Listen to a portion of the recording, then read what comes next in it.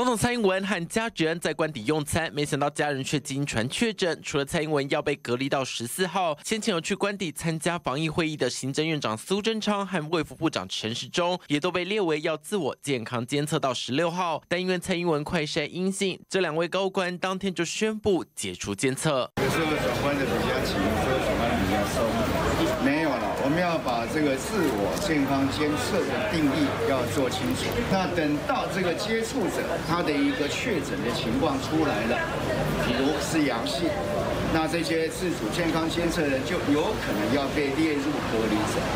那如果是阴性，那就解除自我健康监测。但看看先前基隆市长林佑昌才因为接触确诊者只隔离三天被骂翻后改成十天，但同场的教育部长潘文忠同样也是接触者的接触者，却自我健康监测了三天。但苏贞昌和陈时中却不用，难道防疫又有双标？政府官员应该要一律的平等，而不应该分大小眼。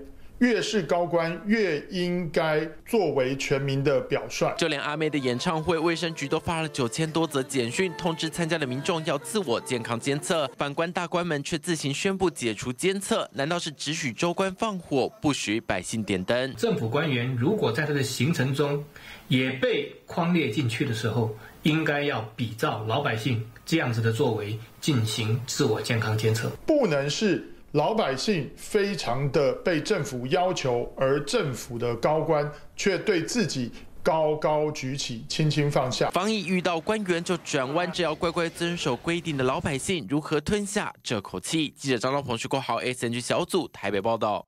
来帮大家科普一下喽，水神跟病毒或家中的细菌作用之后，就会还原成水，不会残留，也不会污染。如果家中呢有银发族、有儿童、有孕妇，都适用。如果您想购买的话，当然会在快点购购买才是最划算的。